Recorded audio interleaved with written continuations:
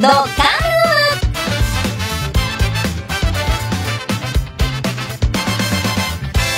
鹿児島ユナイテッドサポーター部マッキーのロッカールームのコーナーです。鹿児島ユナイテッド FC スタジオの DJ のマッキーです。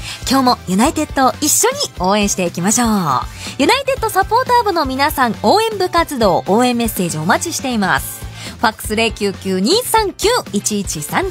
メールはスポーツアットマークミュー FM.jp。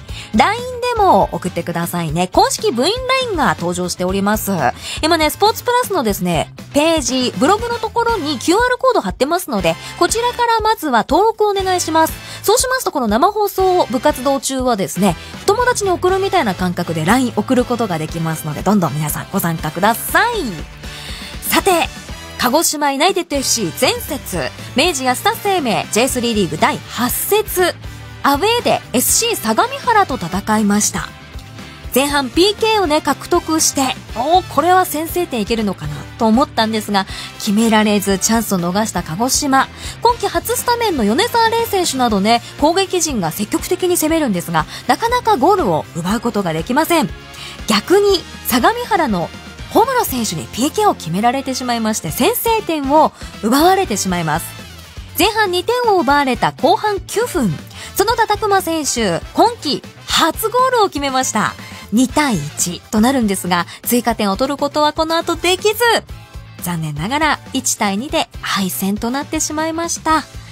いやー、なんかね、なかなかこう、すごいいい形も作れてるし、点もチャンスもね、こう、取れそうだなっていう香りはするのになかなか決めきれないというところと、やはり後半ね、どうしても、攻撃面じゃなくて、あの、守備面ね、ちょっと課題が出てきているのかなという印象はありますけれどもね。さあ、今日のスポーツプラスでは、今季初ゴールを決めました。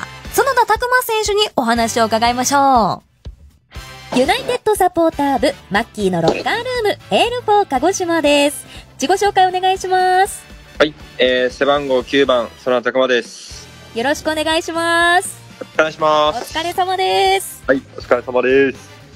さあ、初ゴール出ましたね。はい、予約取れました。おめでとうございます。ありがとうございます。どんな気持ちでしたか、初ゴール？いや、まあ、昨年も取れてなかったので、うん、早く結果が欲しかったので、まあ、その面では取れたっていうのはすごい良かったかなと思ってます。なんか、園田選手らしいゴールでしたね。そうですね。うん、まあ、例が空振って、はい。あれは、パスじゃなかったんですか、違いますね。あいつが、力みすぎて、はい。まあ、うまいとこ落ちたんで、はい。はい、それを、僕のところに押しそこをうまく決めれたっていうのよかったです。そこやっぱりこう、流さず行くのが、その打選手だなって思いました。はい。いや、まあ僕らしいですね。そうですね。ああいうのは。まあ、まさに、ご自身ですけど、泥臭い、はい。とにかく点を取るんだっていうのが、すごく前面出てますよね。はい。さあ、いよいよその初ゴールを決めた角田選手ですが、はい、残念ながら試合は敗戦となってしまいました。はい。はい、あの、試合を振り返っていかがですか？そうですね、やっぱり、うん、まず、やっぱ失点がやっぱり多いので、うん、まあ、こ何試合、うん、やっぱり、そういうところで失点しちゃうっていうところは、やっぱりチームとしても、うん、やっぱりダメな、ダメというか、今のこのチーム状況だと、やっぱり失点しないで、やっぱ先制点を奪いに行くっていうのが、やっぱ、今すごい大事だと思うので、はい、はい、やっぱそう、うん、まあ、後ろだけの責任ではないと僕は思うので、やっぱり本当前から僕自身もそうですし、フォワードが、うん、ハードワークして、うん、みんなで守るっていう、っていうのがすごい今大事なのかなっていうのを感じます。やっぱりね、その、攻撃面で言うと、本当にあの、前、あの、前半からすごく形作れてましたよね、前半。そうですね。なので、あそこから、こう、まず先制点が欲しかったなっていうのと、はいその後やはり守りが難しくなってくるなっていうのがね、ありますけれどもね。そうですね、やっぱり攻撃はいい形でできてるので、えー、まあ、あとは点を取るっていう結果っていうところなんですけど、まあ、やっぱサッカーなので、まあ、うんなかなかゴール決まらないところっていうのは思うんですよね。ねまあ、そういうところで、まあ、選手もチームとしてもやっぱり、うん、あ失点をしちゃうっていうのはすごいやっぱりけないので、まあ、はい、いい攻撃形をしながらも、うん。まあ、全員で粘り強い守備をするっていうのが大事っていうのは思いますね。そうですね。まあ、あの、守りのことが今すごく課題面で上がってますけれども、特に今週こう力入れてトレーニング、は取り組みたいところはどこですか？やっぱりここ立て続けに失点っていうのがやっぱりあるので、はい。うんセットプレーのところで失点したりとかもしているので、やっぱそういうところっていうのを、まあ、失点の守備っていうところをまあ見つめ直すっていうのと、まあ、攻撃っていうのはやっぱりいい形はできているので、うん。最後のフィニッシュっていうところをするっていうのとやっぱり最後の精度ですね、まあ、シュートだったり、うんラストパスっていうところっていうのをもっともっと求めてやっていかないといけないかなっていうのを思います。どんどんここから、あの、一発出たので、園田選手のはい。2発3発がはい。来るんじゃないかなと思ってますよ。そうですね、僕自身も気持ち的にもすごい、えー楽になったというか、うんうん結果が欲しかった面、えーそこで取れたっていうのは、うんすごい自信になったので、はい。はいまあ、そこを次の試合でも点を取れるように、はい、ゴールを目指したいと思います。そうですね。はい今シーズン非常にあの調子が良くて、そして注目集めている園田選手ですから、ますますの活躍応援してます。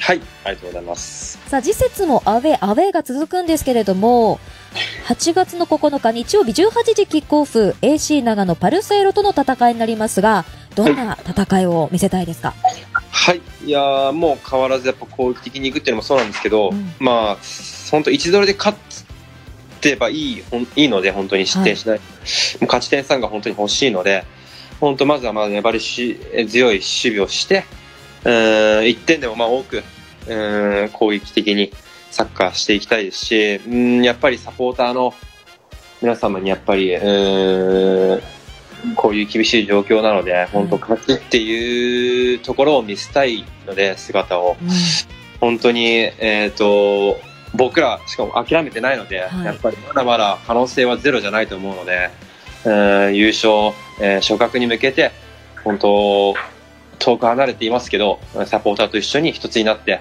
えっ、と、次は、えー勝利したいと思います。勝ちが見たいです。はい。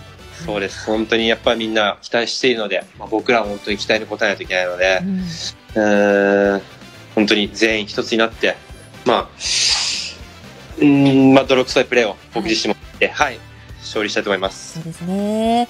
また勝って、ホームに帰ってきてくださいね。はい、勝ってきます。はい。はいさあ、あのー結構ね、角田選手、このスポーツプラス、最近も出ていただいてますけれども、また得点して、帰ってきてくださいね、このスポーツプラスに。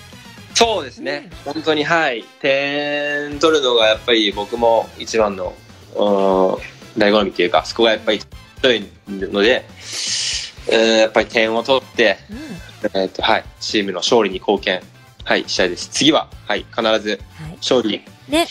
の得点を取れるように、はい、そうですね。頑張ります。さあ、あの、エール4鹿児島もあの、やっぱり変わらずね、あの、夏休みは入りましたけれども、子供たちはいのちょっと我慢の夏休みになってるかと思います。はい。あの、大変な状況で頑張ってる皆さんに、では、最後に、園田選手からエールをお願いします。はい。えーっと、鹿児島もそうですし、全国的にも今本当厳しい状況はまだ続いています。えーまあ、しっかりとみんな、うん、感染予防っていうのを、まあ、しっかりすることと、まあ、僕たちは本当にサッカーというもので、みんなに、えー元気を与えたいと思っていますので、えーと、ぜひ次も、えーと、皆様に次は、えー、と勝利を届けれるように、えー頑張りたいと思いますので応援よろしくお願いします。はい、ありがとうございます。前節ゴールを決めました、園田拓馬選手でした。はい、では、一曲、この曲はお好きなんですか？そうですね、えー高校時代から聞いてるのかな結構歌詞が、はい、はい歌詞に注目しながら聞いた方がいいですね。はい、そうですね。では、曲紹介お願いします。はい、えー、E.T. キングでこの歌を